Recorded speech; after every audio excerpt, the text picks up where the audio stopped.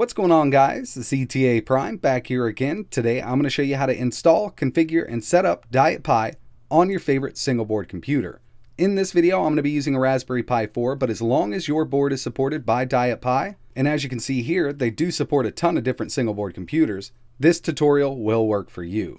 Now you might be asking yourself, what is Diet Pi? Well, Diet Pi is a super lightweight, highly customizable Debian distro for your single board computer. Now from within Diet Pi on the initial install, you can customize Diet Pi to your liking. We could create a nice little desktop PC using LXDE, LXQT, Mate, XFCE, and a few others here. As you can see, these are the desktop environments available inside of Diet Pi.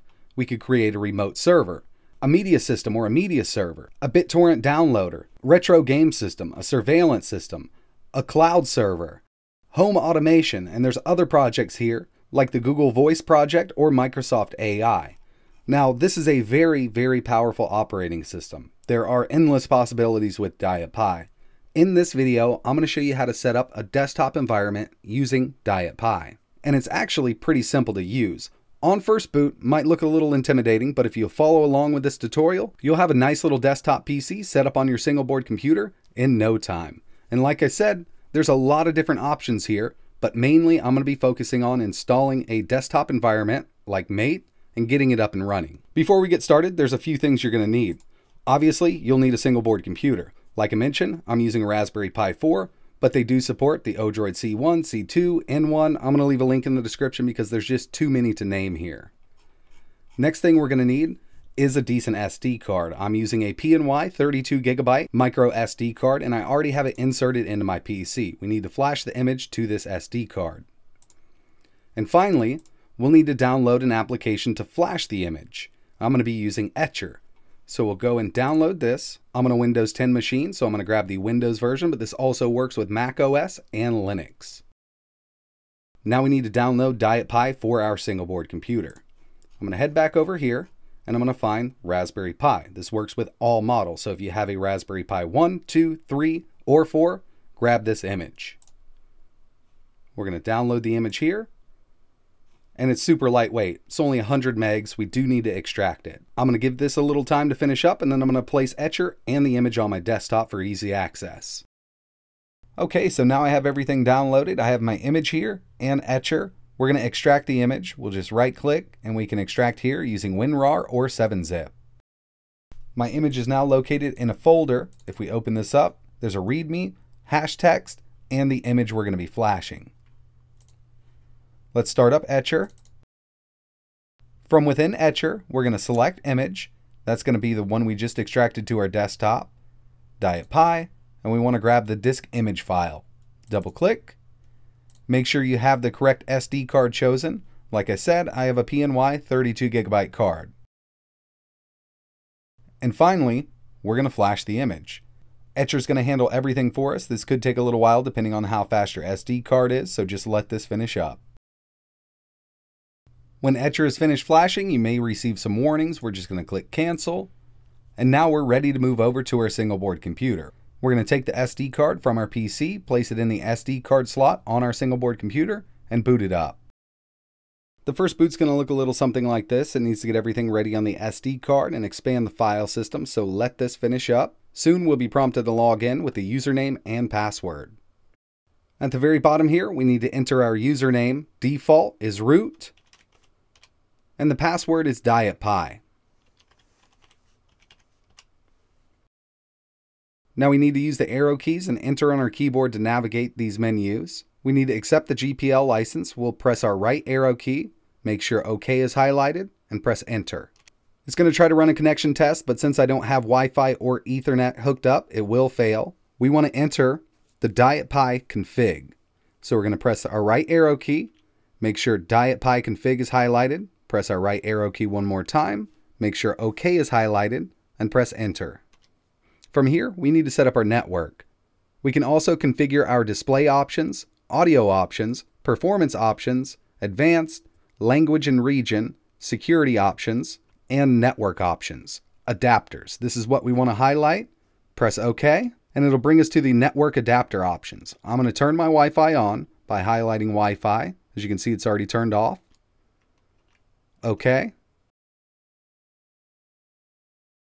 Our Wi-Fi adapter is now enabled. We need to set up a Wi-Fi connection, so we'll go back to Wi-Fi, scan.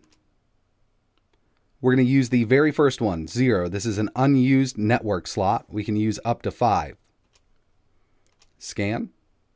I'm just going to connect to my 2.4 gigahertz network. Now we need to put in our password. I'm using a WPA PSK password at the very top. And we'll enter our Wi-Fi password here. Make sure OK is highlighted. Press Enter. We're going to go to Done. Now we need to apply the settings. Click OK, back, and exit. From here, we can change our username and password. If you'd like to do that, you can go ahead and configure it from here by clicking OK. I'm going to leave mine set to root and diet pi. I do recommend changing it though. Same thing with the Unix password. And now it's time to install our software. So there's help, diet pi config, which we were just in for the display options and Wi-Fi options. We can search for software to install, but I want to go to software optimize. This is stuff that's going to work with your single board computer in diet pi. So I'll press enter. The desktop's at the very top. You can choose one of these. I'm going to go with mate. Press your spacebar on your keyboard to highlight it. So now I'm going to install the Mate desktop. The best thing to do is just kind of scroll down and find what you'd like to install. Here's a Plex Media server we could install. There's lots of options inside of Diet Pi. It's really up to you. But like I said, we're only dealing with the desktop right now. And when we get into the desktop environment, we can always go back and reinstall this. Press enter and now we need to configure the boot options. So when this starts up, I always want it to go to my desktop that I'm installing, and that's going to be the Mate desktop. I'll click OK. Desktops, automatic login. I'm going to press enter. And at the very top, we have the current auto start option is set to zero. That's going to bring us right back into this minimal setup, but we want to log right into our desktop that we're installing. So I'm going to go to desktops, automatic login, number two, press enter, I want to log in as root. And now it's set to boot directly into my desktop environment. Current auto start option is now set to 2. We're going to go to exit. We also have additional software that we can install. Again, the main thing is just find what you'd like to install, make sure it's highlighted, and click OK. I'm just installing the Mate desktop, so I'm going to scroll down to Install and now it's going to install the Mate desktop for me. This could take a little while depending on your internet connection. Just let this finish up. The installation is now complete. I'm just going to click OK. We can opt out of the Diet Pi survey here. I'm just going to choose the third option, opt out of the Diet Pi survey and purge all data.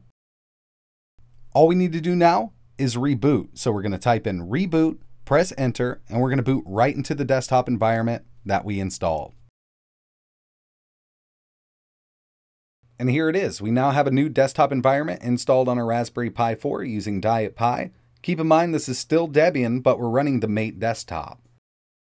Applications, System Tools, we have the Diet Pi Backup, Cleaner, Config, Diet Pi Launcher, Services, Diet Pi Software, and if you want to install any other software from Diet Pi, you can use the launcher or software here. But like I mentioned, we're basically just using another desktop operating system for a single board computer, so we can do it all from terminal. So let's say I wanted to install GIMP, an awesome image editing software suite. I'm going to go ahead and install it here by typing in sudo apt get install GIMP. It's going to search for the packages. Yes, I would like to install and press enter. It's now going to install GIMP for me. Accessories, games, graphics, internet, Firefox is pre-installed here. And there we have it. We're now browsing the web on our single board computer using Firefox installed inside of Debian with the Mate desktop, and all of this was set up with Diet. I'll go ahead and close this down. I'll let GIMP finish up. GIMP is now finished installing.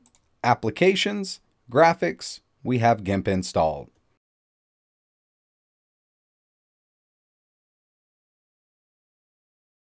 So I personally really like using Diet Pi on my single board computers from the Raspberry Pi 3 all the way up to the Odroid N2. And by the way, if you have an Odroid N2, definitely try this out. It's super quick on that board. And now that you've installed your first desktop environment using Diet Pi, you can always go back using Applications, System Tools. You can go to the Diet Pi Launcher, update, or software. If we go to the launcher, we could uninstall the Mate desktop, reinstall a different desktop environment, or you could just set up a media center if that's what you want to do. Everything's there located inside of Diet Pi. It's a very powerful operating system, and I've had a lot of fun using it. So that's pretty much it for this video, guys. I really appreciate you watching. Definitely give Diet Pi a try if you've been looking for something a little different for your single board computer. And they do have some stats. So if I go into, let's say, Odroid N2, it's going to tell me here the CPU performance rating, file system performance rating, network performance rating, heat efficiency. So they have these little graphs here. If you don't already have a single board computer and you've been wanting to use Diet Pi, definitely check out their website. We'll go to the Raspberry Pi. And as you can see, I don't think that they're talking about the Raspberry Pi 4. But either way, the Odroid N2 is a pretty beefy board and Diet Pi runs really great on it. If you have any questions or you want to see anything else running inside a Diet Pi on a certain single board computer, just let me know in the comments below. But like always, thanks for watching.